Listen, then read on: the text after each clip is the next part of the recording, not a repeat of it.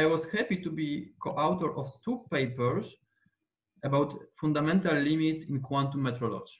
Yes, and one paper was written together with uh, Rafał Demkowicz-Dobrzański and Jandrzej Czajkowski. And this was a very theoretical paper. And the second one was written with the experimental group from uh, Basel University. And this phrase, fundamental limitations, it has completely different meanings in, in, in these two papers. That's why today I would like to present uh, some practical point of view on uh, what is phase and certainty of phase and, and how it's measured. So the outline of this talk is as follows. I prepared long introduction about um, Ramsey interferometer. Then I will tell you how to employ, employ Bose-Einstein condensate to that. What is phase uncertainty? And uh, I will present experimental results. Actually, this will be more experimental talk. So let's start with a Michelson interferometer. Uh, it's a very simple and known tool from 19th century. So you have some port, inject light. This light is splitted by beam splitter into two beams. One is reflected, the second is transmitted. They both reflect from their mirrors M1 and M2, and they meet in screen when we can see the interference pattern. The whole idea of this uh, device is to, uh, to measure some, some differences in phase in these two beams. The problem is when we discuss uh, quantum phase. And this is better to understand, I think, in a Ramsey interferometer. So now I will go through Ramsey interferometer and I will try to present this interferometer step by step. So our system of interest are, is any system which has only two levels. Uh, At least this is enough to, to understand the concept of this interferometer. I denoted these two levels with one and two and assume that they have energy E1 and E2. And if they are completely isolated from environment, so there are no couplings to other fields, uh, we consider only these two level systems, then Hamiltonian is equal to projection on the first state times its energy plus projection on the second state times its energy. Okay, so let's start with this Ramsey sequence. The first step of the sequence is just to prepare atoms, all of them in the same internal state. Let's say state one. Usually there are, there are such methods that, uh, let's say, well, in practice, they are selecting atoms with some magnetic field. So first, uh, these atoms are cooled, there are some filters, uh, then there is some magnetic field gradient such that at the end there is cloud with atoms, all of them in the same internal state denoted with one.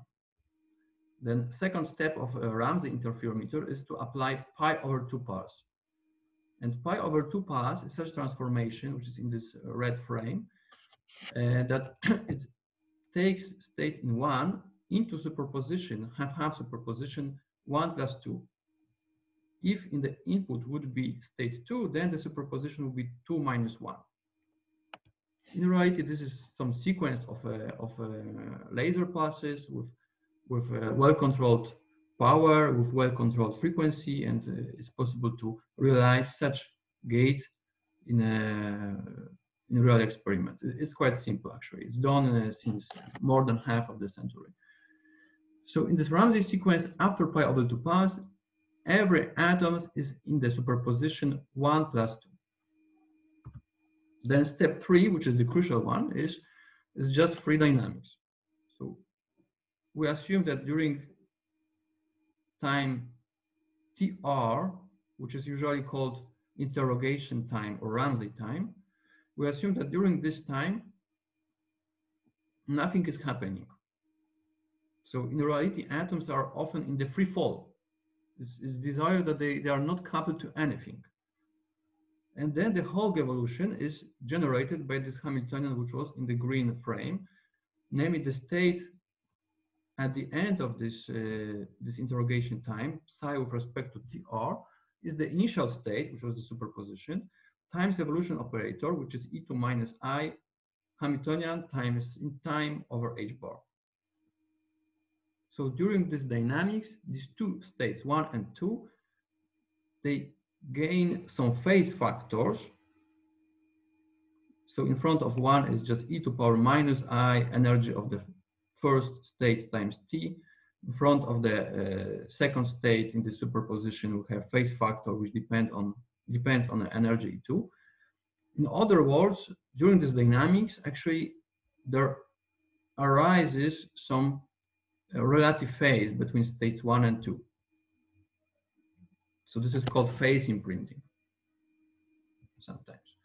And then there is the second pi over 2 pulse. So in the red frame, you have again some short reminder what this pulse is doing. Uh, in our system, this pulse is taking these phase factors with relative phase E1 minus uh, E2 into arguments of sine and cosine. So after the second pi over 2 pulse, we still have superposition, but it's no longer half-half superposition. It's superposition with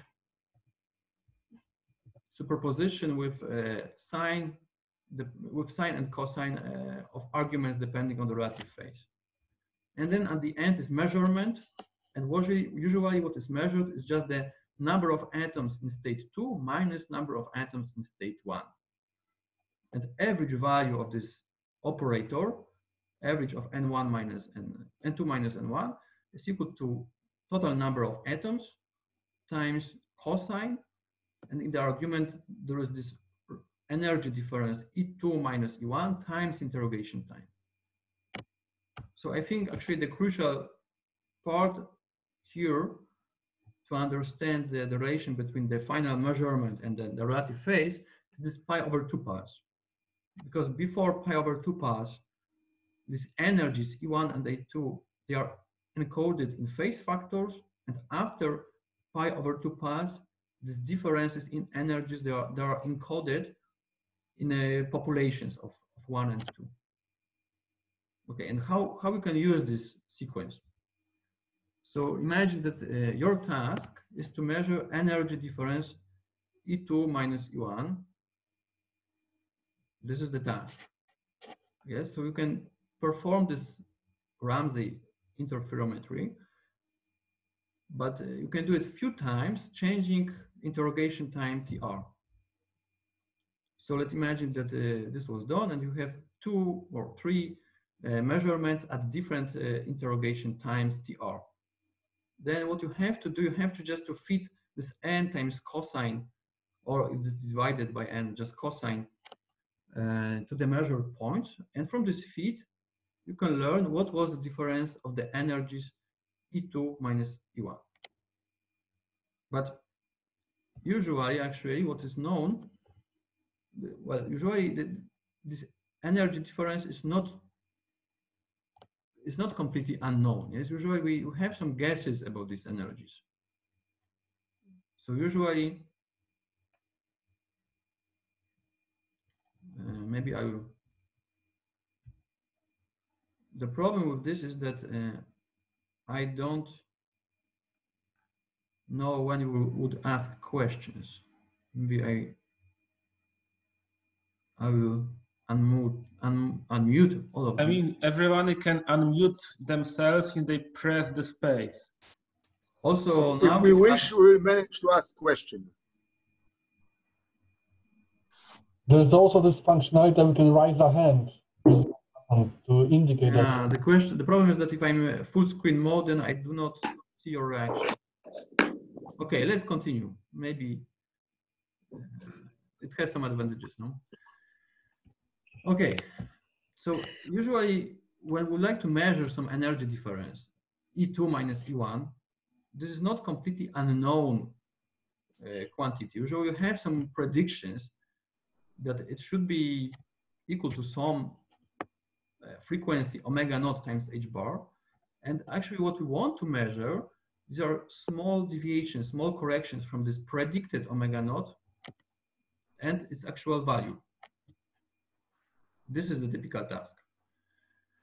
And the, the question is how to measure it as precisely as possible. So probably everyone uh, had to do such exercise during uh, laboratories in, in uh, universities, uh, which was to measure period of pendulum. And uh, if you are asked to do this, the best way is to start this pendulum to oscillate and then wait uh, until it will oscillate many, many times. This many times is this letter K here. And then we measure time and we divided uh, the time until after, let's say 100 oscillations over 100. And then we have some quite precise measurement of one period. So the same idea is here in Ramsey interferometry. If you have some guess about this omega naught, the best way is to wait several oscillations, assuming that the, the, the frequency is close to omega naught. And then at some interrogation time tr, you do the measurement. And the best way is to do measurement at this point at which the slope is maximal. So where this signal imbalance n2 minus n1 over n when it's crossing zero because then uh, the signal is the most sensitive to the interrogation time. So on a small change in the argument will give a big change in the signal. Uh, to remind you, signal is number of atoms in the state two minus number of atoms in state one. Usually by convenience, it's divided by the total number of atoms. Okay, if you do this measurement, and you see that uh, your measurement is, let's say, above zero, it means that your predicted frequency was not the correct one and that the correct one is slightly higher. And again, fitting just sine to the neighborhood of this, you can infer what was this correction delta omega. This is how it's done in uh, atomic clocks. Usually they, they wait like nine, uh, 10 to the power nine of oscillations. Okay, but the problem is that if you do this measurement, very often um, you have some noise. Well, always there is some noise.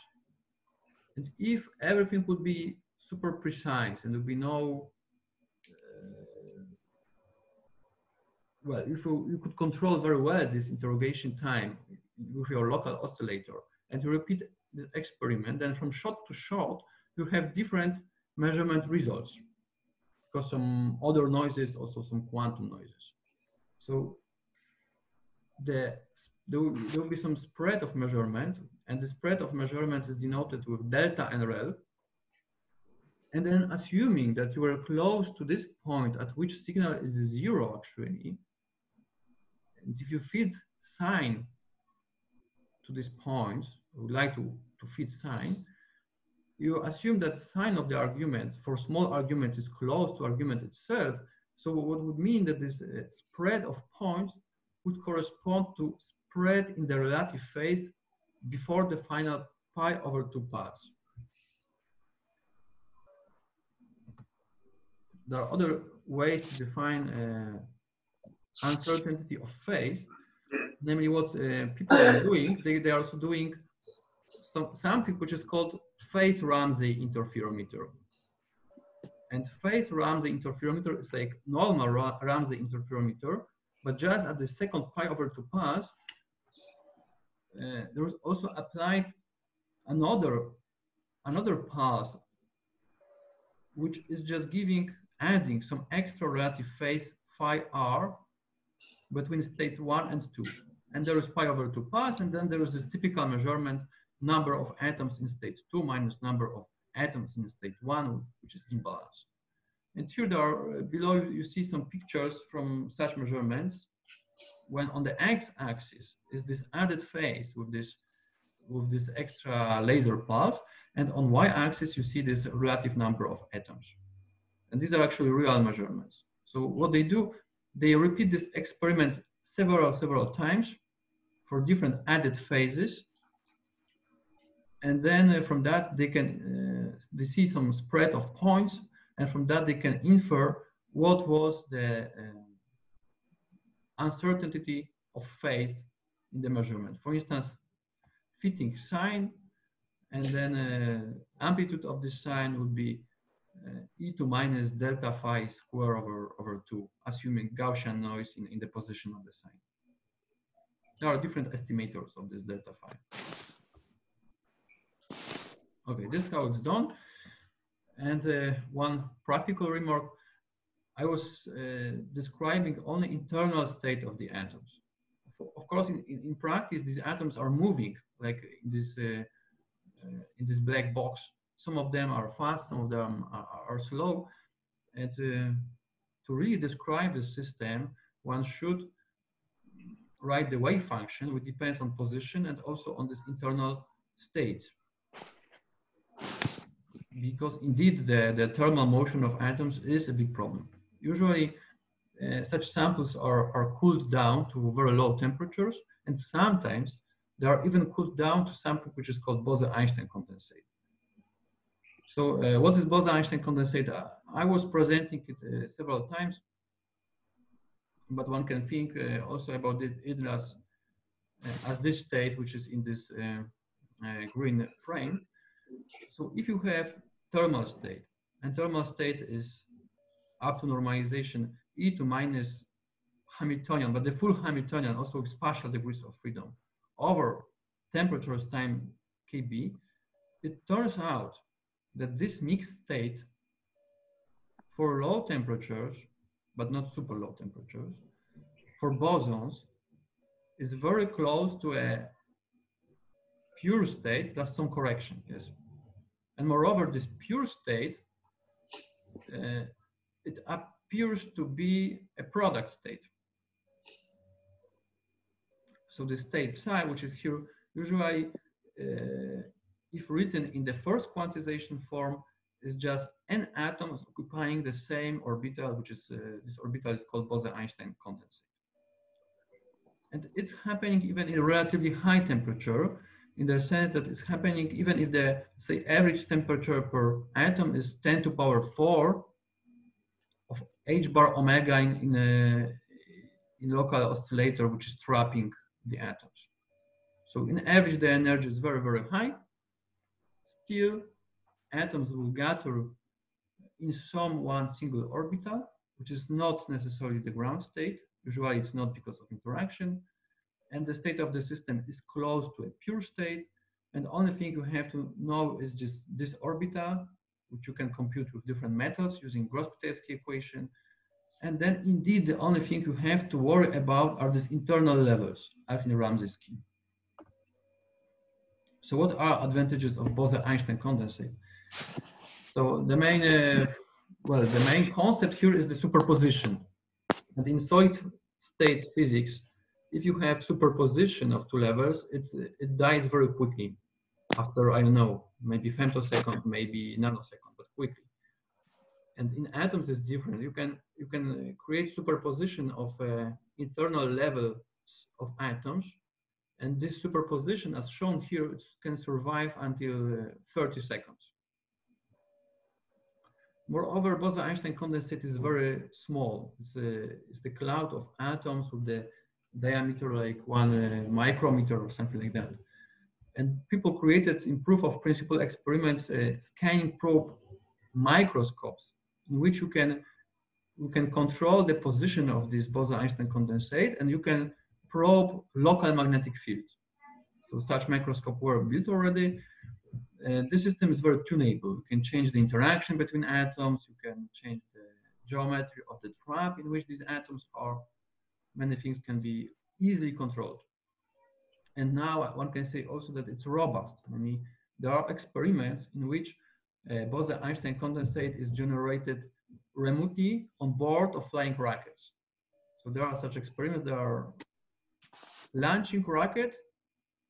During this fly, Bose-Einstein condensate is created on board, and then the rockets uh, fall down to Earth, during this flying, they are gathering some, collecting some measurements. And then the, this rocket is taken back and one hour later, they launch it again. And again, Bose-Einstein condensate is created on the board and uh, there are experiments, it's shut, it's touching the ground and again and again. Uh, they are doing this because there are plans to send Bose-Einstein condensate into space to measure very precisely gravity and test equivalence principle. So I'm working with group uh, with Basel from Basel University, and this is a group which has very special system. So they have atom chip. They can uh, inject currents in this chip because there are currents. They uh, then these currents induce a magnetic field, and with this magnetic field, one can keep atoms, but they are usually uh, kept, they are held below the chip. And here there is the picture of, uh, of their system. So there is this chip on top, there is glass cell, almost perfect vacuum is inside. And this thing, which is well, like one centimeter of diameter, it's kept on the optical table when there's plenty of laser. So in the second picture, somewhere there is this chip, but most of these cables, there are some lasers and fibers, and, and they control this from outside. So inside this, this glass, glass cell, there is some tiny Bose-Einstein condensate, which is well isolated from environment and is controlled by laser beams. Uh, and they are able to prepare Bose-Einstein condensate in super low temperature. So average energy of atom divided by Boltzmann constant is of the order of 50 picokelvin. Uh, this group is really good in, uh, in production of in producing squeezed states in metrology, and they also they can tune number of atoms. They're usually, usually using uh, rubidium from 100 to 10,000.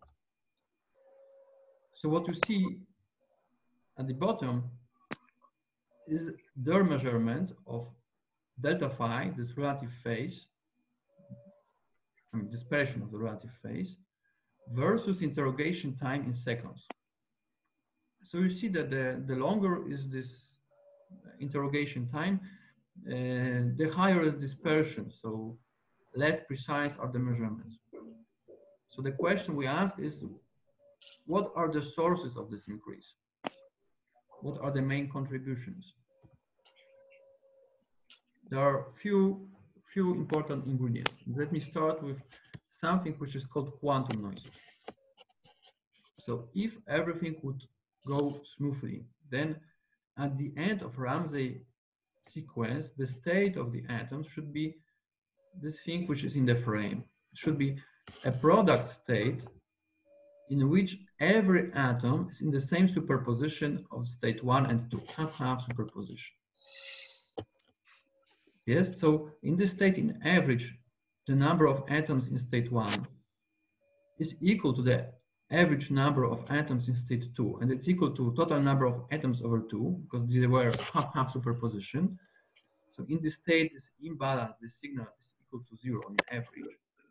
But still, all other possibilities of, uh, let's say, having even all atoms in state one, they are possible. There's some distribution of possible outcomes of this experiment. So this average imbalance is equal to zero, but it has dispersion, which is proportional to one over square root of n. Because just the number of atoms in N1 and in, or in N2, it follows a binomial distribution and width of binomial distribution is square root of n. And because n rel is imbalance divided by n, that's why the result is 1 over square root of n. And this thing is called projection noise, quantum noise. And the tasks in quantum metrology are to modify this uh, Ramsey sequence and to choose maybe better input state such that this quantum noise at the end would be as small as possible. And in quantum metrology, typical question is what are the fundamental limits? So how small this noise can be. So now there's the question if this effect, this quantum projection noise is important in experiment or it's not. And the question is, the answer is that it depends. So for the first time it was observed that it exists in a, in a real atomic clock uh, like 20 years ago. Concerning this Basel experiment, this is their measurement, but now on the x-axis is time, but on short time scale. This dotted line is projection noise. They had like 1020 atoms. They can uh, really count atom one by one. what means that this projection noise should be like 1 over square root of uh, 1000, so around 0, 0, 0 0.03. It's marked with this dashed line. And the dots are measurements. So we see that until 10 milliseconds, this quantum projection noise is important, and then and then it's not. Then it's uh, different things uh, are happening. What are these different things? Well, typical guess would be that probably the experiment is not perfect because there are some technical noises. So what they did, they measured different technical noises. They repeated experiments several times in different geometries and different temperatures, also not for Bose-Einstein condensate, for very diluted samples, and they measured technical noise well, as well as they were able to. And this technical noise is marked as this black line. This is the technical noise or the impact on the de delta phi on, uh, from coming from this technical noise. And these red points, these are measurements of phase uncertainty, which is actually the uncertainty of this uh, imbalance of number of atoms in one and two. So still the question remains, what is responsible for, for these large fluctuations of phase or large fluctuations of the relative number of atoms measured at the output? So what was omitted? I, I was not discussing now, for now, uh, collisions between atoms. Because if you have Bose-Einstein condensate, so it's actually very small cloud of atoms, quite dense in the sense that you cannot omit usually interactions. And these are neutral atoms, so interactions are very weak, but still there are van der Waals uh, interactions, just collisions between atoms. And these collisions usually are divided into two groups. One group are elastic collisions. And here we have three channels because we have atoms in uh, states one and two so there are uh, different, uh, well, different constants uh, are governing the, the collision, collisions between atoms in one. There are different parameters controlling or describing the interactions between two atoms from which one is the, in the state one and the second is in the state two. And there is the third parameter for this channel 2, 2. Similarly, for inelastic collision, inelastic are actually, they are calling it inelastic, but these are such collisions that two atoms collide and they change internal levels. And as the trap was magnetic trap, if the atom change internal level, usually it's lost from the trap. But because of some super selection, well, not super, because of some selection rules, there are only two channels. I mean, for these atoms which were used in Basel, there are only two channels for inelastic collisions. And uh, the rate of the inelastic collisions are denoted with gamma 1, 2 and gamma 2, 2. So we have uh, collisions and these collisions are governed by five parameters, three of them to characterize elastic collisions. These are scattering clamps denoted with A, and two of them to describe or to quantify inelastic collisions. So first focus on inelastic collisions a small table, and these are results of, different groups in which this gamma 1, 2 and gamma 2, 2 are measured. And you see that, uh, well, the result differs. Yes? There was some question?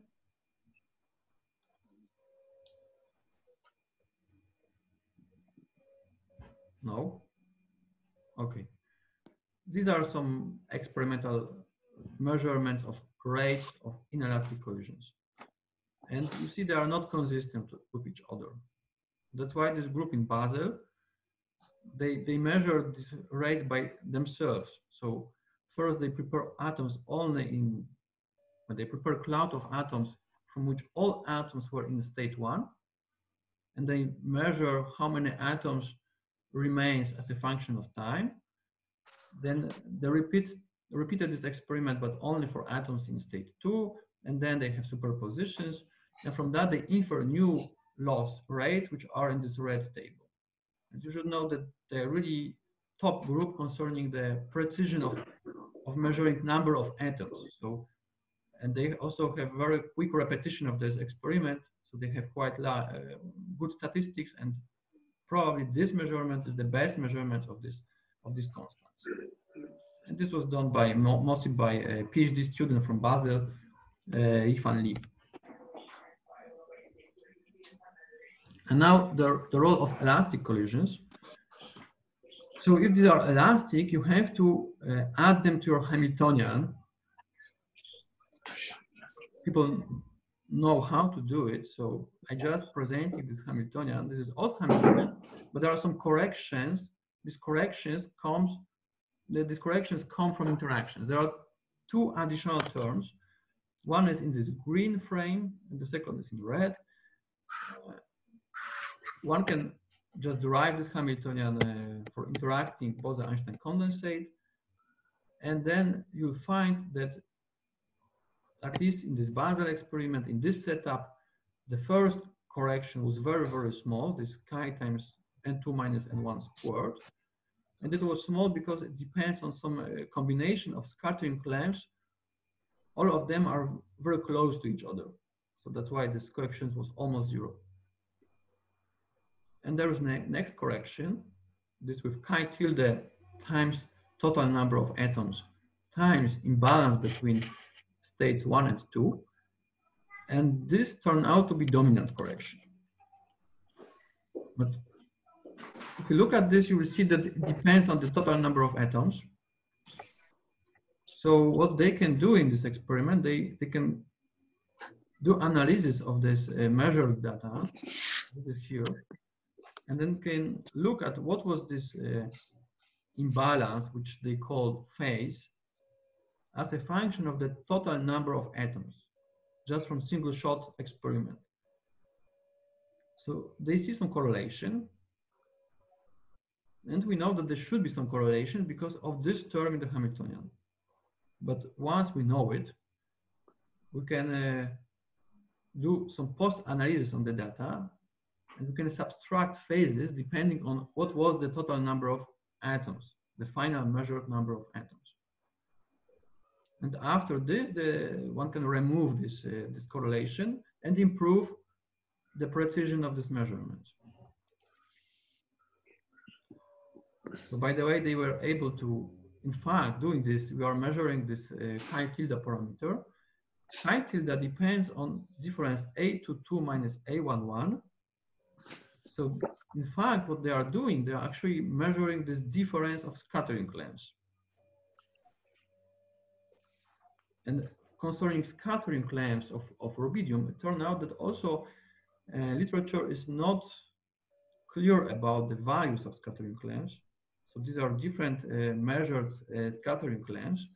You see that are, all of them are close to each other, but it turned out that this experiment is so precise that if I would change the scattering length by less than 1%, I would have no agreement with experiment whatsoever. Actually, we can measure this, I mean, we can infer that this difference from the experiment with the precision 0.1 of one of Bohr radius, which is which is actually quite good precision. So what I was doing, I was doing uh, just simulation for them. Uh, I was working on this system. Uh, I'm working on the system since many years, uh, trying to well, model Bose-Einstein condensates, their dynamics, losses, and different noises. So uh, there are papers in which I was describing in details with my colleagues from uh, Grenoble and Paris uh, what are the main effects, what are mechanism, mechanisms which are induced by losses.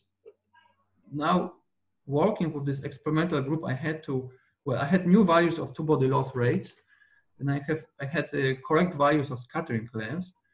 We also checked that these parameters of this Hamiltonian, this chi tilde, they're actually time dependent. I was able to, to, to model this time dependence. They were able to measure this time dependence. So just collaborating with this group from Basel, finally we, could, we were able to, to well, improve theoretical models, and then I use them to, uh, to compute uh, experimental measurements to have some curves, theoretical curves to compare with, with uh, delta phi. So what you see now is again this delta phi versus Ramsey time. But these red points are quite close to what came from theoretical model, which included only losses, time dependence of parameters, which is so what was included is essentially the, the particle losses and, and uh, interactions between atoms. Then once they do this correction after measuring what was the uh, mean shift of phase due to number of atoms, this gave these blue experimental points. Uh, using Monte Carlo analysis, I generated uh, data for them and they did from my theoretical data, data from simulation, they did the same analysis as they do for their data, and this gave them these uh, blue points. So I would say that we have a nice agreement between theory and experiment, and we learn what are the main contributions. But to be sure, we should repeat this experiment. Uh, maybe it will be better in such a regime in which number of uh, collisions is smaller because if the number of collisions would be smaller, then this uh, phase noise would be also smaller because as we see from this curve, the dominant effects are uh, elastic collisions, which gives the difference between red and blue, and then uh, losses, which gives the difference between blue and technical noise. So they repeated this experiment with shallower trap. I did these simulations, and again, we had quite nice agreement. So it's almost everything. This is this uh, team, six people from uh, Basel working on experiment. I was doing theory for them. Uh, to sum up, we performed very detailed analysis of phase noise in Ramsey interferometry. From that, we were able, or they were able to measure uh, some atomic constants like uh, rates of inelastic collisions and uh, scattering lengths and doing some analysis, they are they were able to improve precision just choosing different geometry uh, for, for the trap, keeping these atoms. So now uh, there are some plans. We'd like to uh, improve metrology using squeezed state. Uh, to do this, uh, they would like to use the state-dependent potentials because on this chip they can create two independent traps, one for atoms in state one and the second for atoms in state two and one can uh, play with these parameters. So they would like to optimize it. I would like to improve mathematical understanding of the system because, well, this is actually a very difficult system to describe it uh, in all details. Always you have to do some uh, some crude uh, simplification and uh, what I'm working on is many body dynamics with particle losses included. And uh, in the far future, we would like to create a Schrodinger-Cat state. We wrote proposal already two, four, three years ago, but they were trying to create a Schrodinger-Cat state in these systems, but it was it turned out to be difficult. But now, as we know that there are uh, different loss rates and different scattering lengths than we assumed, and we understand the system better, maybe there's chance to there's chance to uh, to finally do it. So it's everything. If you are still with me, you can ask questions. Okay, yes. So this is the time for questions. I open the discussion. So if you want to ask the question, you have to unmute your uh, microphone. Um, so Krzysiek, can I ask a question? Yes, sure. Yeah, so uh, you, towards the end, you you said that, let's say, your model matches quite well with experiments, but as far as I understood, in the regime of uh, uh, well, many collisions, uh, the model was quite off from the like data points, including error bars. So can you comment on this? Yeah, so uh, I will show it again. You're saying, for instance, about yeah. this, especially here for this blue curve, we see that there are some deviations. So we found out that uh, for longer times, because losses were so substantial that uh, and also asymmetric. In one of these uh, cloud, one of these clouds is very, very small uh, for atoms in a, in state two. And the cloud for atoms in state one is much broader because uh, the losses are asymmetrical and they, they are mostly present in, in state two. That's why overlap between these two clouds is not perfect. So the deviation is due to uh, finite, well, the reduction of overlap between these two modes. It's like in optics to have to do some, uh, I know, even beam splitter. if you inject two beams at once, you have to take care about uh, mode matching. It's the same thing, and this is not perfect. It's difficult to model. That's why, uh, well, it was not included in this theory, but this is this, it seems that this is the the main reason uh, for this deviation. Okay, uh, thanks. Okay. Uh, any other questions? So Krzysiek, is there any canonical way to include those losses to, to, to make it uh, better? So yes, we know that we have to use master equations. It's already, well, I was also deriving it for these models, and we know that it, it should work. Uh, but I, I haven't, this equation is not written explicitly, but Mhm. um, it would not change much if I would write it down. Because anyhow, this is equation which is impossible to solve uh, analytically or even numerically with uh, in- including all effects. So I'm using master equation, but under approach that there are only two modes which are important, spatial modes, and these are state for stage one and two. If I would add more modes, then uh, this equation, master equation here would be impossible to solve. Okay, thanks. Um, anyone uh, else? Uh, Very nice seminar and the proof that we can run it like this. Forever. It's different, it's very different, no? forever, right? If necessary.